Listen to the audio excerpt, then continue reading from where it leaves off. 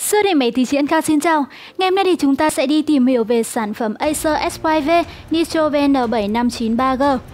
Vâng, Acer đã nhanh chóng nắm bắt được xu hướng thị trường bằng việc cho ra mắt dòng sản phẩm gaming có màn hình chất lượng cao, cấu hình khủng và mỏng gọn.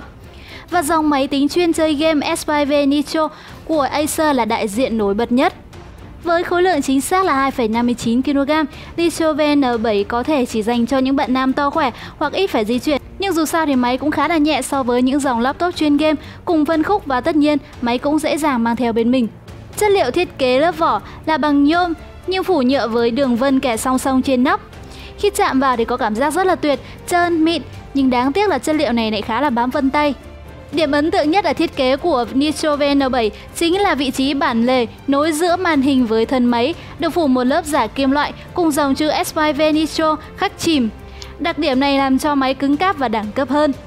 Phần tản nhiệt, Acer đã thiết kế cho Nitro VN7 với hai quạt công nghệ chống bụi của Dust Defense rất là hay.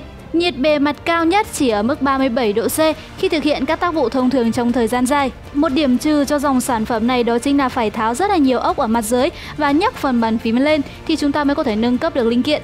Máy được thiết kế đầy đủ bàn phím số, trang bị đèn led với tông màu đỏ nhẹ, đem lại cảm giác khá là dễ chịu.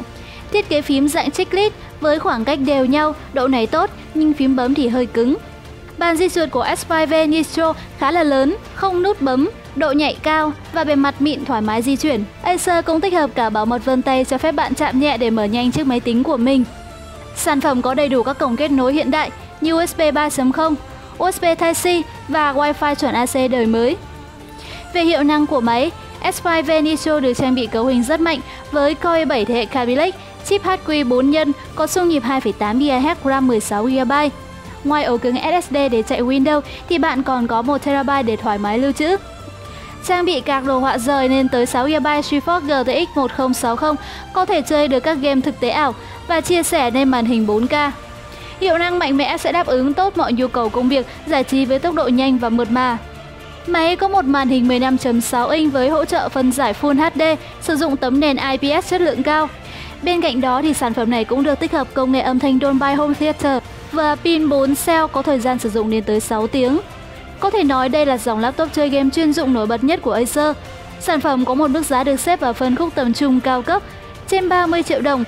Và đây sẽ là sự lựa chọn tuyệt vời dành cho game thủ nhiều tiền. Sản phẩm sẽ phù hợp với những ai quan tâm đến một chiếc laptop mỏng nhẹ, thiết kế cá tính, chơi game tốt và vấn đề thương hiệu không quá quan trọng. Siêu thị máy tính An Khang cảm ơn bạn đã theo dõi. Hãy truy cập vào website ankhang.vn để biết thêm thông tin chi tiết. Xin chào và hẹn gặp lại!